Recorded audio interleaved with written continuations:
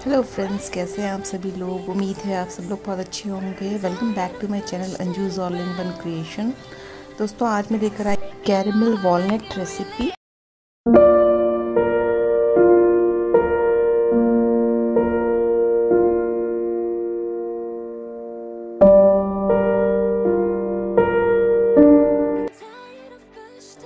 दोस्तों तो इसमें पड़ने वाले इंग्रेडिएंट्स देख लेते हैं। हम ये जो अखरूट है, ये मैं ले रही हूँ। ये one one and half cup है। और मेरा मेज़रमेंट कप जो है, वो 250 फिफ्टी का। ये ब्राउन शुगर हाफ़ कप ये ग्रेटेड गुड़ हाफ़ कप मक्खन दो tablespoon salt half teaspoon ये तिल है वाइट तिल टू टेबल स्पून और अब हम इसको थोड़ा सा रोस्ट कर लेंगे, चटकने तक, थोड़ा खुशबू आने तक तिल को।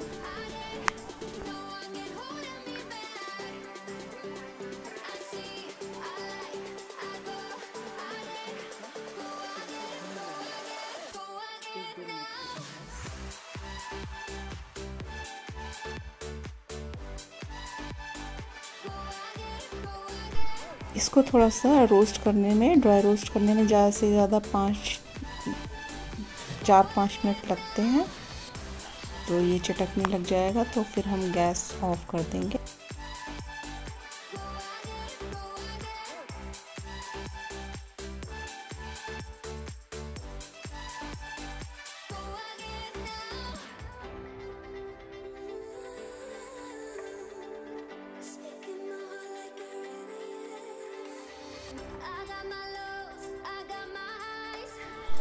ये हो गया दोस्तों, अब हम इसको निकाल लेते हैं और इसी पैन में अब हम इसको ड्राई रोस्ट करेंगे जो हमारे वॉलनट्स हैं। इसको थोड़ा सा भूनेंगे। इनको भी थोड़ा सा हमें जो हल्का सा सीलापन होता है, वो निकल जाता है। थोड़े करारे क्रिस्पी हो जाते हैं ये। तो इसको हम थोड़ा सा भूनेंगे दो तीन मिनट के लिए। दोस्तों, मैं इंस्टाग्राम पे भी वीडियोस डालती रहती हूँ तो आप वहाँ पे भी मुझे फॉलो कर सकते हैं। अब ये हो गए, हम इनको निकाल लेते हैं। अब उसी पैन में हम टू टेबलस्पून बटर डालेंगे और इसको थोड़ा सा मेल्ट कर लेंगे और इसमें ये हाफ़ कप शुगर डाल देंगे ब्राउन शुगर दोस्तों, अगर आपके पास ब्राउन शुगर ना हो तो आप गुड़ भी ले सकते हैं, वो आपको एक कप लेना होगा पूरा। तो अब इसको हम थोड़ा सा चलाते हैं और इसके साथ ही मैं ये गुड़ भी डाल देती और गैस फ्लेम लो ही रखनी है और इसको चलाते रहें। जब तक ये मेल्ट ना हो जाए अच्छी तरह।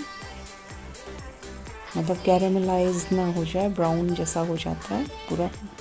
अब इसमें देखिए झाग से आ गया अब ये शुरू होने वाला शुरुआत होगी, ये देखिए, अब ये हो गया कैरमलाइज्ड। अब गैस ऑफ़ कर देंगे हम और ये वॉलनट्स इसमें डाल देंगे और इसको जल्दी जल्दी चलाएँगे। अच्छी तरह से इनको इसमें कोट करेंगे। ये जो हमारी सॉस है, इसमें अच्छी तरह इसको पूरा अच्छी तरह कोट करना होगा। ये देखिए इस तरीके से। और हम अब ये जो तिल है, ये इसमें डाल देते हैं। थोड़ा गैस ऑफ़ करके इसमें एकदम डालना है और इसको मिक्स करना है। सॉल्ट डाल देते हैं हाफ़ टी स्पून और अब इसको मिक्स कर लेते हैं। अच्छी तरह से। अब जल्दी से दोस्तों इसको हम बटर पेपर पर फैला देंगे।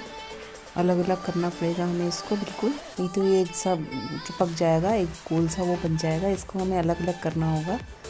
इसको थोड़ा सा फैला देते हैं एक एक करके अलग कर देते हैं थोड़ा। और इसको ठंडा होने देते हैं। अभी थोड़ा गर्म है, फिर भी मैं हाथ से थोड़ा थोड़ा अलग अलग कर रही हूँ इसको। तो इसको ठंडा होने देते हैं दस पंद्रह मिनट के लिए।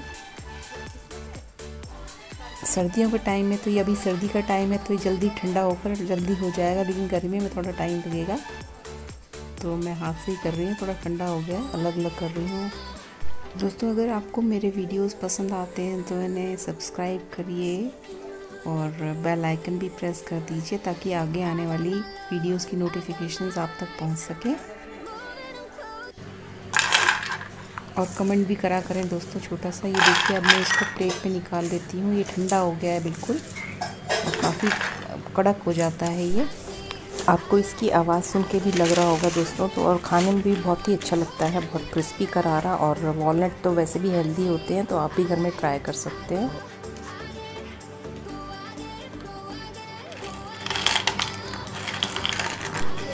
कुछ इसमें हेल्दी पड़ा हुआ है, अखरोट भी हेल्दी होते हैं और तिल भी हेल्दी होता है और ब्राउन शुगर भी मैंने डाली है, गुड़ भी हेल्दी होता है तो आप ट्राई कर सकते हैं। ये देखिए दोस्तों, ये तैयार हो गए हैं और मैंने खा के भी देखा था तो घर में भी सबको दिया खाने के लिए, खिलाया तो सबको पसंद आया ये। और ये कभी भी बना सकते हैं इसको, ज़्यादा से ज़्यादा हमें पंद्रह बीस मिनट लगते हैं बनाने में तो आप भी ज़रूर ट्राई करिएगा। Thanks for watching my video. Bye.